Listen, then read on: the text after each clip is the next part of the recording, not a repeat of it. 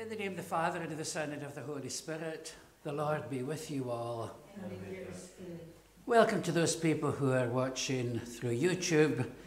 We hope that today's Mass gives you some comfort, that you're not forgotten or abandoned by the Church or by God. People have commented about how beautiful the little altar of repose is, and why not?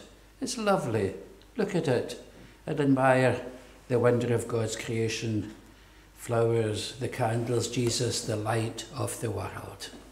We'll call to mind our sins and we'll ask for God's forgiveness. You were sent to heal the contrite. Lord, have mercy. Lord, have mercy. You came to call sinners. Christ, have mercy. You plead for us at the right hand of the Father. Lord, have mercy. Lord, have mercy. May Almighty God have mercy on us, forgive us all of our sins, and bring us to everlasting life. Amen. Let us pray.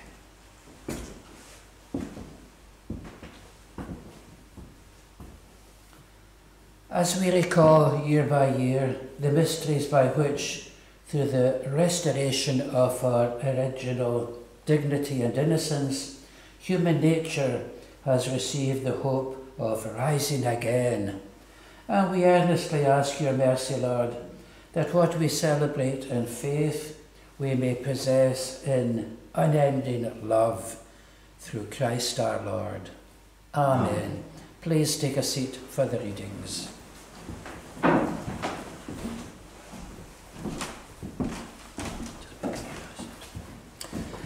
In the readings today, we hear how the Pharisees are angry. The Sadducees, sorry, the Sadducees don't believe in the resurrection. They're a rich, aristocratic section in Jewish society. There's no angels, spirit, no resurrection.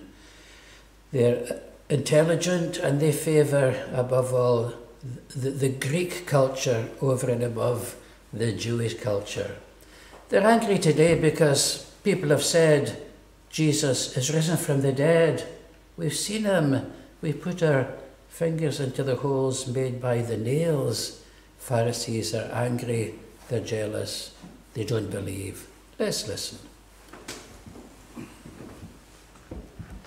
The first reading, a reading from the Acts of the Apostles. The high priest intervened with all his supporters from the party of the Sadducees. Prompted by jealousy, they arrested the apostles and had them put in the common gaol.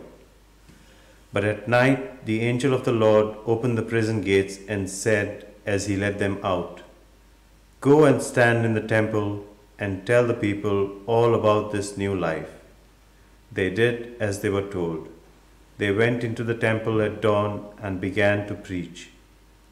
When the high priest arrived, he and his supporters convened the Sanhedrin, this was the full Senate of Israel, and sent to the gaol for them to be brought. But when the officials arrived at the prison, they found they were not inside, so they went back and reported. We found the gaol securely locked and the warden and the warders on duty at the gates. But when we unlocked the door, we found no one inside. When the captain of the temple and the chief priests heard this news, they wondered what this could mean. Then a man arrived with fresh news. At this very moment, he said, The men you imprisoned are in the temple. They are standing there preaching to the people. The captain went with his men and fetched them. They were afraid to use force in case the people stoned them. This is the word of the Lord. Thanks be to God.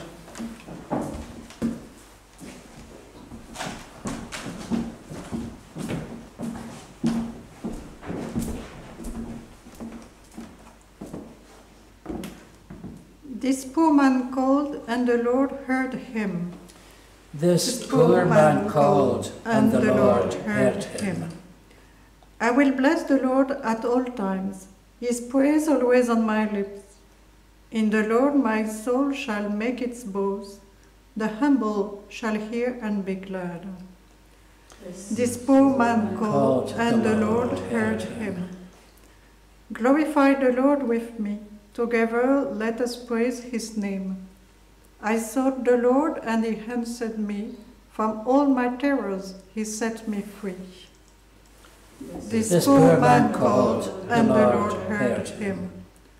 Look towards him and be radiant. Let your faces not be abashed. This poor man called, the Lord heard him and rescued him from all his distress. This poor man called, and the Lord heard him. The angel of the Lord is encamped around those who revere him to rescue them. Taste and see that the Lord is good. He is happy who seeks refuge in him. This poor man called, and the Lord heard him. Alleluia, Alleluia, Alleluia. Alleluia. God loved the world so much that he gave his only Son. Everyone who believes in him has eternal life. Alleluia. Alleluia. The Lord be with you. A reading from the Holy Gospel according to St. John. Jesus said to Nicodemus, God loved the world so much that he gave his only Son, so that everyone who believes in him may not be lost, but may have eternal life. For God sent his Son into the world, not to condemn the world, but so that through him the world might be saved. No one who believes in him will be condemned, but whoever refuses to believe is condemned already, because he has refused to believe in the name of God's only Son. And on these grounds is sentence pronounced, that though the light has come into the world, men have shown that they prefer darkness to the light, because their deeds were evil. And indeed, everybody who does wrong hates the light and avoids it, for fear his actions should be exposed. But the man who lives by the truth comes out into the light, so that it may be plainly seen that what he does is done in God. This is the gospel of the Lord. Praise to you, Lord Jesus Christ. Please take a seat.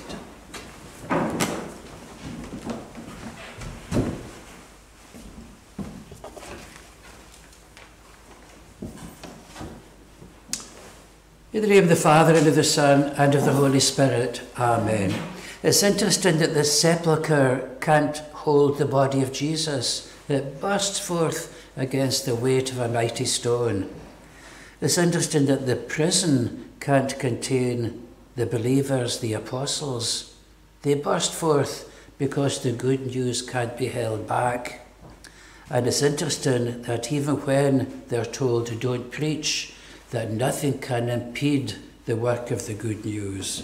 He is risen, nothing will prevent them from preaching the truth. So today let's just think a little. There are three occasions when the priest, there are three occasions during the Mass which involve a kiss. First one, the priest kisses the altar. The second kiss, the priest kisses the gospel. You've seen it. The third one is the holy kiss, where we offer each other the sign of peace.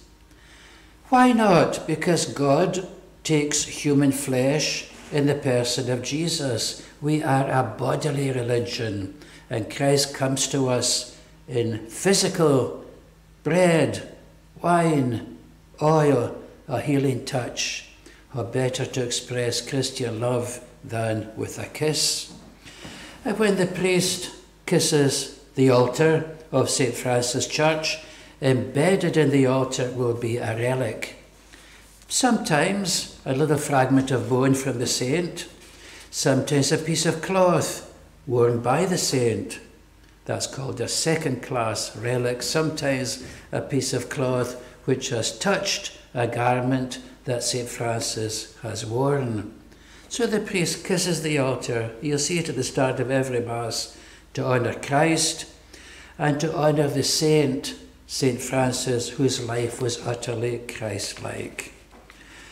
There's an episode in the life of St. Francis that demonstrates that as relevant for our lives today. You know this, that during the Crusades, when Christian soldiers and knights marched to the Holy Land to liberate the Christian holy sites in Jerusalem from the Saracens, St. Francis joined them.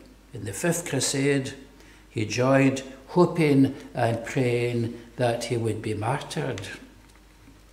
And to cut a very long story short, in Egypt, when the two armies, the Christian army and the Saracens, faced each other with the typical madness, you know, holy people are mad. Nothing will hold them back. With the typical madness of a holy man, St. Francis just walked straight into the camp of the Muslim Sultan Al Kamil. He was a nephew of Saladin. But Al Kamil was actually a pious man. He was a pious Muslim. He read the Quran. He preferred a life of prayer to a life lived by the sword. And so St. Francis was martyred. In fact, he was invited to be a guest of El Kamil for one week. And we have, if only we had a transcript of that conversation, what a treasure to have. What did they talk about? There was no secretary to take minutes. We're not terribly certain, but we know for certain that St. Francis was offered the freedom of the city of Jerusalem. He wasn't martyred by the sword, but he developed an eye disease, a, a trachoma, which caused great suffering and later the stigmata the wounds of Jesus on his hands and on his feet. So his prayer for martyrdom was in a sense answered, but it was a long, painful martyrdom, existed every day for many years, and it was borne without any complaint. And they reckon the meeting between Al Kamil and St. Francis was the first time that a conversation between a Christian and a Muslim had taken place on matters of theology and spirituality. Dialogue today is more important than ever. It drives away ignorance, it drives away prejudice. The world is shrinking, it's just a, a global village. And let Muslims and Buddhists and unbelievers taste and see the love of Christ, taste and see as the psalm says today, that the Lord is good. And we know that waves of migrants seeking maybe a, a freedom from persecution, many have seen and tasted the love of the Catholic faith for the first time. They'd never seen and tasted before a God of forgiveness, a good shepherd who knows us by name and not by number.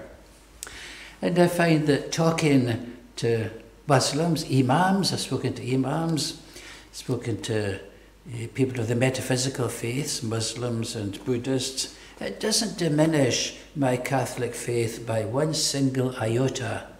The very opposite, it becomes stronger when I see the readiness of Christ, and I preach that in a sense, please God, with my life the readiness of Christ to clothe us with his mercy, to feed my soul with the sacraments.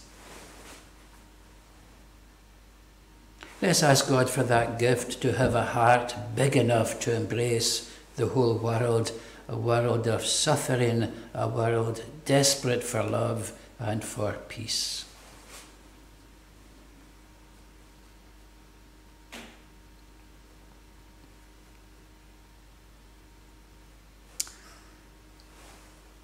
In the Bidding prayers today, we ask God to bless a young lady in the congregation. She's still at school. She's got musical gifts. They also are offered to the congregation. She set up the Royal Medical Benevolent Fund, really for doctors who perhaps are impoverished, health workers who don't have a steady income, people on the front line who don't have life's necessities to continue. We ask God to bless her enthusiasm. May it never die. Lord, hear us. Lord, graciously hear us. And we ask God to bless those good people, missionaries, who take the love of Christ to people perhaps who live lives of great superstition and fear and perhaps ignorance and false beliefs. Lord, hear us. Lord, graciously hear us. Remember being in Africa, Sierra Leone, meeting people who had been educated by the Catholic missionaries. And they told me that some of the missionaries, their educational skills were so, so, so, so good that today, a generation, two generations later, they are remembered. Father O'Brien, Father McGinty taught them everything that they knew, and now they've succeeded in this life. And they thank God for that. We take the gospel of peace. Throughout the world, people are changed and lives become enriched. Lord, hear us. Lord, graciously hear us. And for those people who've suffered the, the pangs of the coronavirus, people who are orphaned, people who are widowed, families perhaps without a breadwinner. We ask God healing and we ask God's comfort in these difficult times. Lord, hear us. Lord, graciously hear us. Hail Mary, full of grace, the Lord is with thee. Blessed art thou among women, and blessed is the fruit of thy womb, Jesus. Holy Mary, Mother of God, pray for us sinners now and at the hour of our death. Amen. And blessed are you, Lord, God of all creation. Through your goodness we have this bread to offer, which earth has given and human hands have made. It will become for us the bread of life. Blessed be God forever. And by the mystery of this water and wine, may we come to share in the divinity of Christ, who humbled himself to share in our humanity. And blessed are you, Lord, God of all creation. Through your goodness we have this wine to offer, fruit of the vine and work of human hands. It will become our spiritual drink. Blessed be God forever. And Lord, wash away all my iniquities, cleanse me from all of my sins.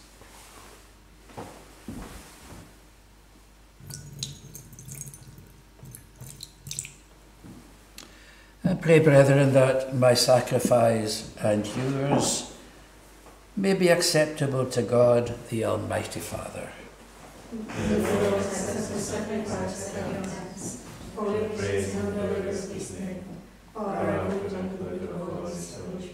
A, a little application of gel following the protocol.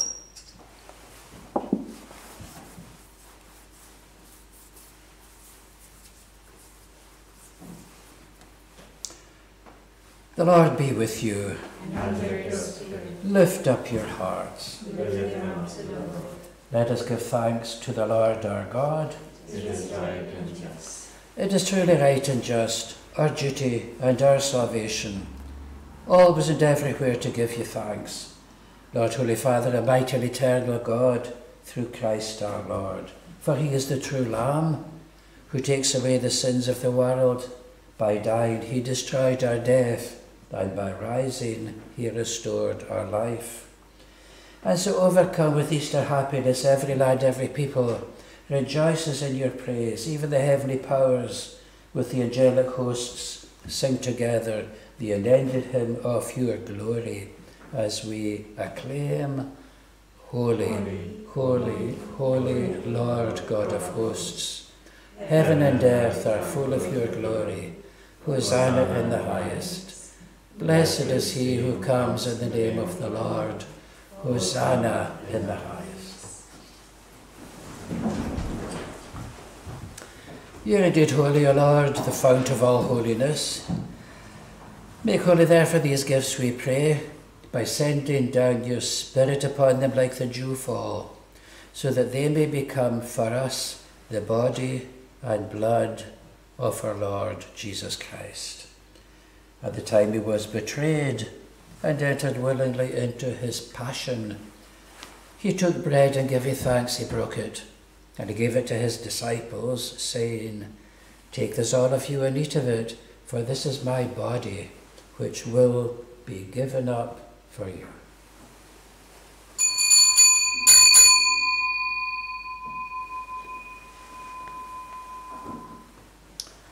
And in the same way, when supper was ended, he took the chalice. And also giving thanks, he gave it to his disciples, saying, Take this, all of you, and drink from it, for this is the chalice of my blood, the blood of the new and everlasting covenant. It'll be shed for you and for all, so that sins may be forgiven. Do this in memory of me.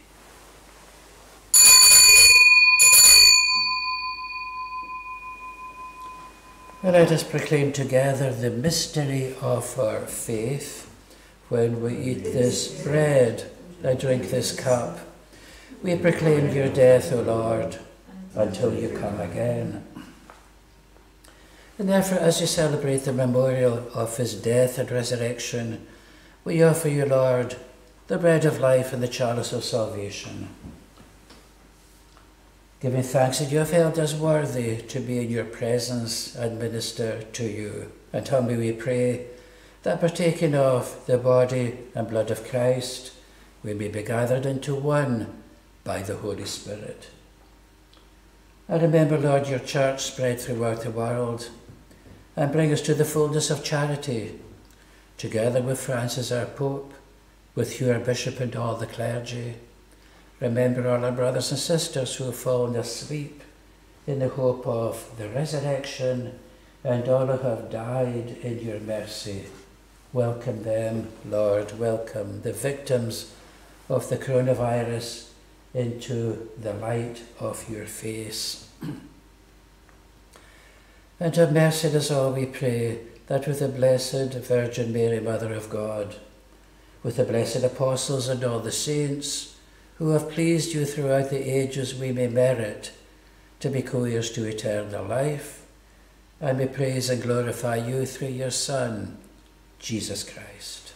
Through him and with him and in him, O God, Almighty Father. In the unity of the Holy Spirit, all glory and honour is yours forever and ever. Amen. I will stand and pray with confidence to the Father, using the words which Jesus, who is our Saviour, taught us. Our Father, who art in heaven, hallowed be thy name. Thy kingdom come, thy will be done on earth as it is in heaven.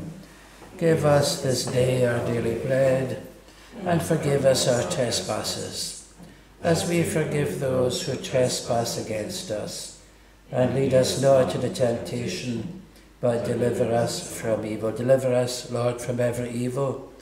Gracious grant peace in our days, that by the help of your mercy we may be always free from sin and safe from all anxiety, as you await the blessed hope and the coming of our Saviour, Jesus Christ. For the kingdom, the power, and the glory are yours, now and forever. Lord Jesus Christ, you said to your apostles, I leave you peace, my peace I give you. Look not on our sins, but on the faith of your church, and graciously grant us peace and unity, in accordance with your will, who lives and reigns forever and ever. Amen. The peace of the Lord be with you always and with your spirit. And let us offer each other a sign of peace. Peace be with you. Peace be with you.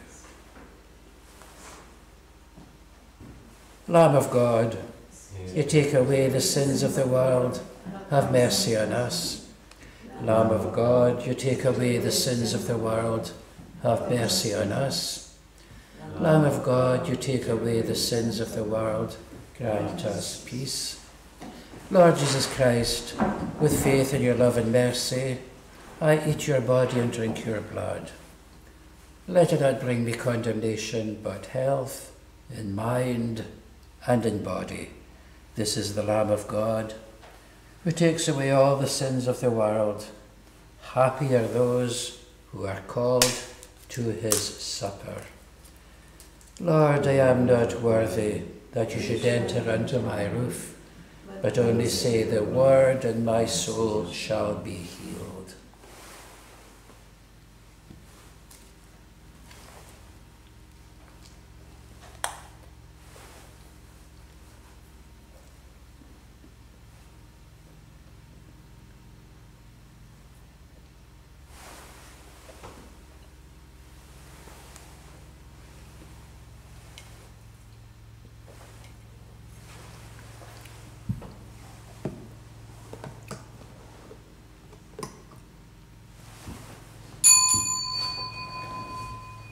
Now we offer the sacrament of Holy Communion, the body of Christ.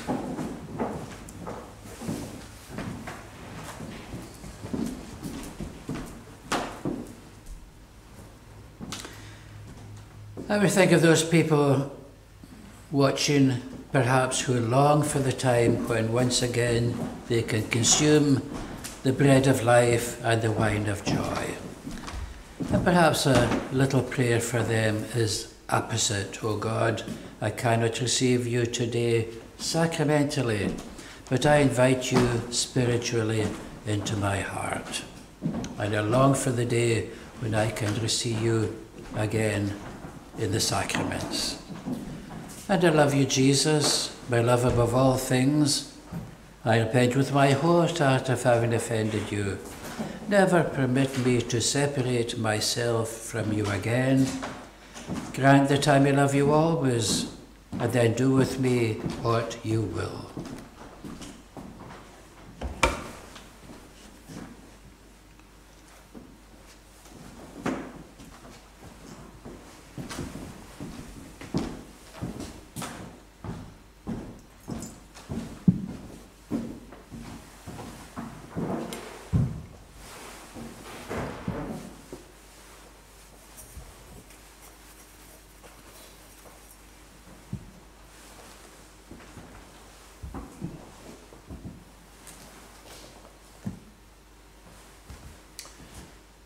The communion antiphon.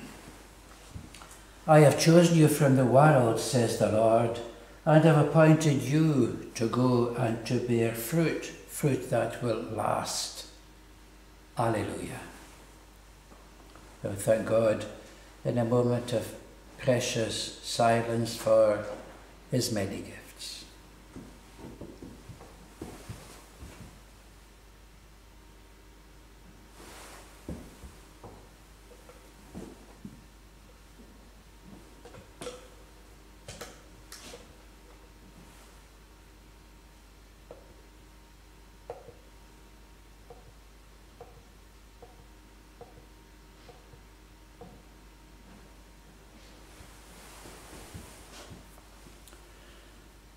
And for exposition of the Blessed Sacrament, we'll sing the lovely hymn, Latin hymn, O Salutaris Hostia, O Saving Victim.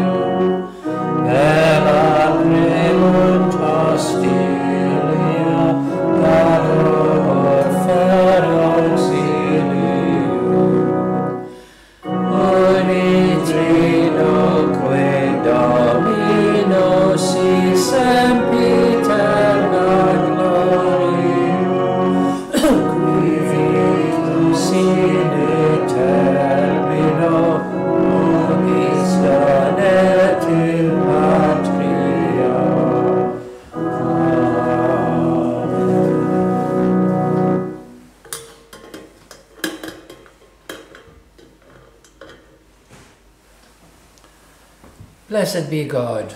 Blessed be God. Blessed be his holy name.